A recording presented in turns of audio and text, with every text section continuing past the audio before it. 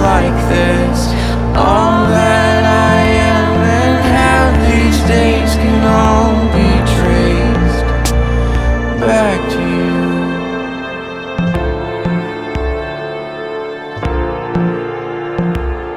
Back to you.